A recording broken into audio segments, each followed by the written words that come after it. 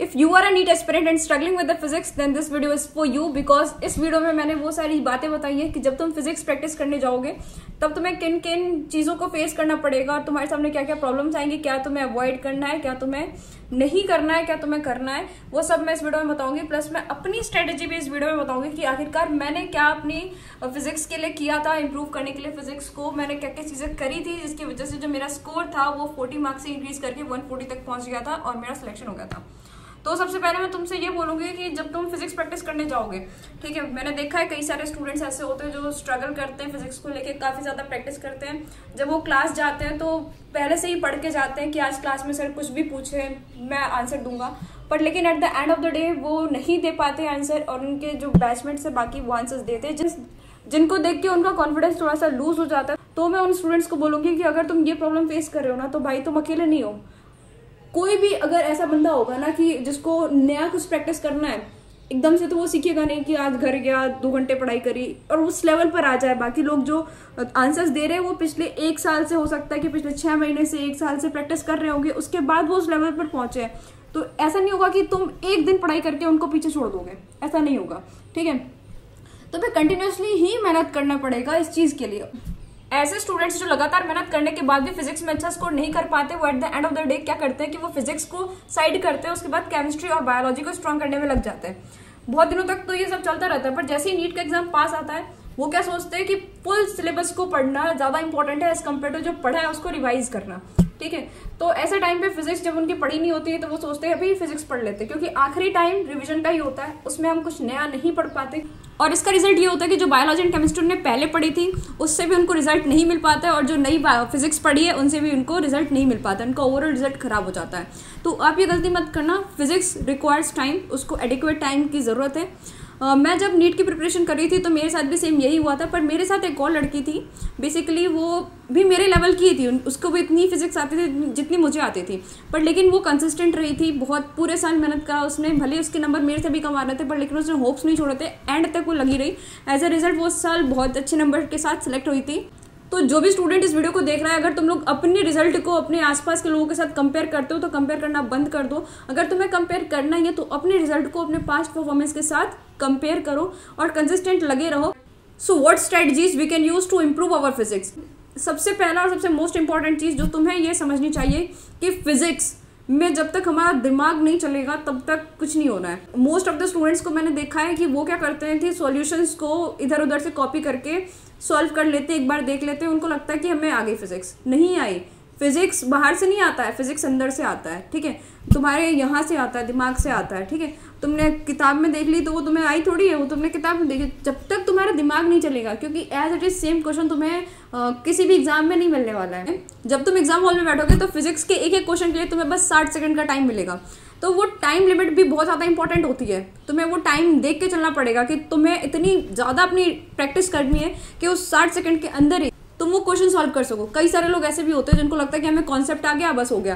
Practice is must for example एक party attend करने के लिए तुम्हें ग्वालियर टू डेली जाना है। तुम आज के पहले कभी वहाँ गए नहीं हो।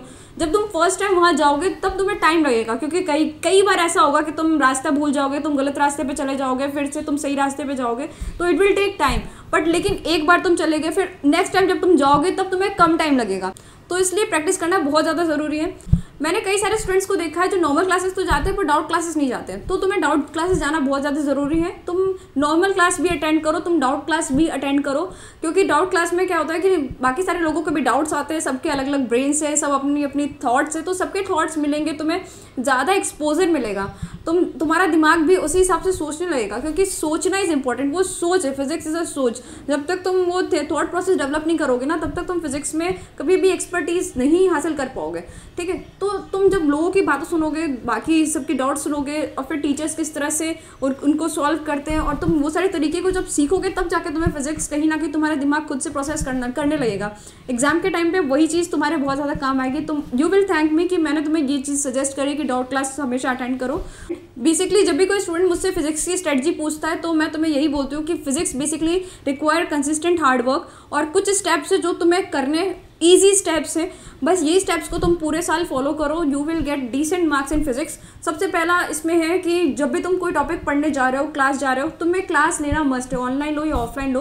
क्लास तुम ले रहे हो तो क्लास के पहले थोड़ा सा टॉपिक पढ़ के जाओ ताकि तुम क्लास में ब्लैंक ना बैठो। You put every doubt in your class क्योंकि वो बेटर जगह है। मतलब बेस्ट जगह है जहाँ पे तुम अपने डाउट्स को पूछ सकते हो। उसी टाइम पे क्लियर कर सकते हो और वो चीज़ें तुम्हें लॉन्ग टर्म तक याद भी रहेंगी। तुमने डाउट्स पूछ लिए, तुमने अच्छे नोट्स बना लिए, तुमने बहुत फ्रेश नोट्स बनाने, ये नहीं कि हम ड्रॉपर हैं, हमारे पास इलेवन टू ट्वेल्थ क्लास से नोट्स रखे, हम उसी से पढ़ लेंगे। नहीं नहीं नहीं, ये नहीं करना है। तुम्हें अपने नए नोट्स बनाने हैं और क्लासरूम में अच्छे से जो भी है, बढ़िया फेयर नोट्स बनाओ। फिर उसके बाद जैसे तुम्हारे क्लास खत्म हो तो क्लास में जितने भी न्यूमेरिकल प्रैक्टिस तुमसे कराए पहले तो नॉर्मल थ्योरी जो जो उन्होंने पढ़ा दिया, उसको पढ़ लो रिवाइज कर लो और जो भी न्यूमेरिकल्स उन्होंने कराया है बेसिकली तुम्हें क्या करना है? बिना देखे सॉल्यूशन उस क्वेश्चन को दोबारा से करना है। यू विल टेक टाइम तुम्हें ऐसा लगेगा, तुम भूल जाओगे क्या सर ने क्या बोला था, क्या बोला था। पर उस टाइम पे तुम्हें सॉल्यूशन देखना नहीं है, तुम्हें खुद से मतलब सोचना है। अब जब तुम्हारा, जब तक दिमाग को तुम्हें ट्रेन करना है ना, तुम्हारा दिमाग इस तरह से ट्रेन होगा सोचने के लिए। ठीक है? उसके बाद जब वो हो जाए तो तुम्हें उस टॉपिक के बहुत सारे क्वेश्चन प्रैक्टिस करने हैं। उसके बाद जो भी डाउट आ रहे हैं, हर एक डाउट को पूछो, छोटे से छोटा डाउट पूछो। मैं तो ये बोलूँगी, अगर कोई चीज़ तुमसे याद नहीं हो रही है तो तुम वो भी जाओ किसी के पास, उनसे पूछो। जब वो तुमसे वो चीज़ें बोलेंगे ना, तब तुम्हें वो याद रहेंगी लॉन्ग टर्म में। और नीट के टाइम तक तुम्हें याद रहेंगी। अगर तुम नहीं पूछते हो किसी से, तब तुम सारी चीज़ें भूल जाओगे और नीट के टाइम पे कंफ्यूजन और ऐड हो जाएगा, जिसकी वजह से तुम्हारा रिज़ल्ट बिल्कुल ख़राब हो जाएगा। ठीक है? इतना कर लिया, उसके बाद तुम्हें क्या करना है? पी वाई क्यूज़ करने। पी वाई क्यूज़ में तुम्हें क्या करना है? या तो कहीं से topic wise P Y Qs उठा के लेके आओ।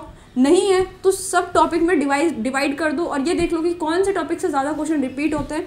ठीक है? और उन टॉपिक्स को पक्का कर दो। अगर कोई टॉपिक ऐसा लग रहा है कि तुम्हें कि मुझे बहुत ज़्यादा हार्ड जा रहा है या फिर इससे क्वेश्चन नहीं आए हैं तो तुम उन टॉपिक्स को छोड़ सकते हो, पर लेकिन मैं तुम्हें ये बोलूँगी कि हर एक टॉपिक को एक बेसिक लेवल पर प्रिपेयर कर लो। अगर तुम्हें टॉपिक बहुत ज़्यादा टफ भी लग रहा है तो भी तुम उसे बेसिक लेवल पर प्रिपेयर कर लो। क्योंकि हो सकता है कि उस टफ टॉपिक से कोई एक ईजी सा क्वेश्चन आ जाए और हर ईजी क्वेश्चन हो या टफ क्वेश्चन हो, सबके चार नंबर ही मिलने हैं, ठीक है? उन टॉपिक्स पर ज़्यादा ध्यान दो जो टॉपिक्स ईजी हैं और उनसे क्वेश्चन आने के चांसेस हर साल ही होते हैं। जितने भी क्वेश्चन तुम सॉल्व करो फेयर तरीके से सॉल्व करो और जो भी डाउट्स तुम्हें आ रहे हैं, उन डाउट्स को तुम फेयर तरीके से लिखो ताकि तुम उन डाउट्स को वापस से रिवाइज भी कर सको। Because revision is the key और फिर जब नीट का एग्ज़ाम आएगा, तुम इन्हीं डाउट्स को दोबारा से ही देख सको ताकि तुम्हें ये समझ में आ जाए कि जो डाउट्स तुम्हें आए थे, वो क्या कॉन्सेप्ट था उनके पीछे और तुमने उससे क्या सीखा था। तो ये चीज़ें बहुत ज़्यादा इंपॉर्टेंट होती है क्योंकि यही वो चीज़ें हैं जहाँ से क्वेश्चन नीट में भी आने के चांसेस होते हैं। और ऐसे डाउट वाले क्वेश्चन के नीट के एग्ज़ाम में आने के चांसेस भी ज़्यादा होते हैं तो ध्यान रखना इस बात का। और एट लास्ट मैं तुम्हें ये सजेस्ट करूँगी कि प्रीवियस जे इमेज के आए हुए क्वेश्चन भी तुम सॉल्व कर लेना, क्योंकि उनके आने के चांसेस भी होते हैं। नीट में बहुत ज़्यादा हाई फाई क्वेश्चन नहीं आते फिजिक्स से डरने की बिल्कुल भी ज़रूरत नहीं है। फिजिक्स में तुम्हें टाइम लगेगा। ऑब्वियसली टाइम लगेगा पर लेकिन at the end of the day तुम ज़रूर से ज़रूर सीख जाओगे क्योंकि बहुत बड़ी बात नहीं है। और इतना भी कॉम्प्लिकेटेड नहीं है। तुम चीज़ों को कॉम्प्लिकेट मत करो। ईजी तरीके से सॉल्व करने की कोशिश करो। टीचर्स की हेल्प लो अपने कलीग्स की हेल्प लो किसी ना किसी की हेल्प लो। तुम जिस तरह से चाहो उस तरह से तुम्हें बस काम करना है।